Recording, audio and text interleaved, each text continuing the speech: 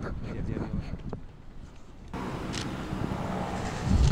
ඊයේ අවල් එකට පමණ අපරාධ පරීක්ෂණ දෙපාර්තමේන්තුවේ TID එක විසින් හිටපු නීතිපතිතුමා වන ශ්‍රේෂ්ඨ ජනාධිපති නීතිඥ දපුල ඩිලිවේර මැතිතුමාට මෙසේජ් එකක් එවලා තිබුණා අද දින එතුමා නීතිපති වශයෙන් සේවය කරපු කාලයේදී කරපු ප්‍රකාශයක් සම්බන්ධව පැහැදිලි කිරීමක් සහ ප්‍රකාශයක් ලබා දෙන්න.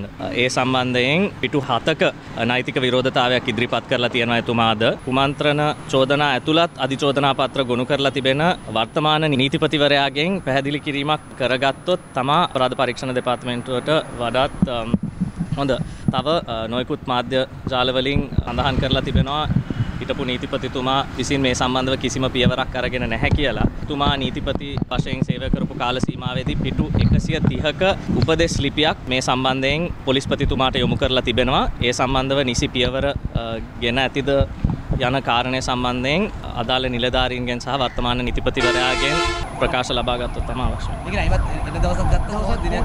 නෑ අද අද පිටු හතක නෛතික විරෝධතාවයක් ඉදිරිපත් කරලා තිබෙනවා. ඒ සම්බන්ධව ඉතින් හිටපු නීතිපතිවරයෙකුගෙන් සටහනක් කරගන්න අවශ්‍ය නැහැ මේ සම්බන්ධව අධිචෝදනා පත්‍ර වර්තමාන නීතිපතිතුමා ගොනු කරලා තිබෙනවානේ.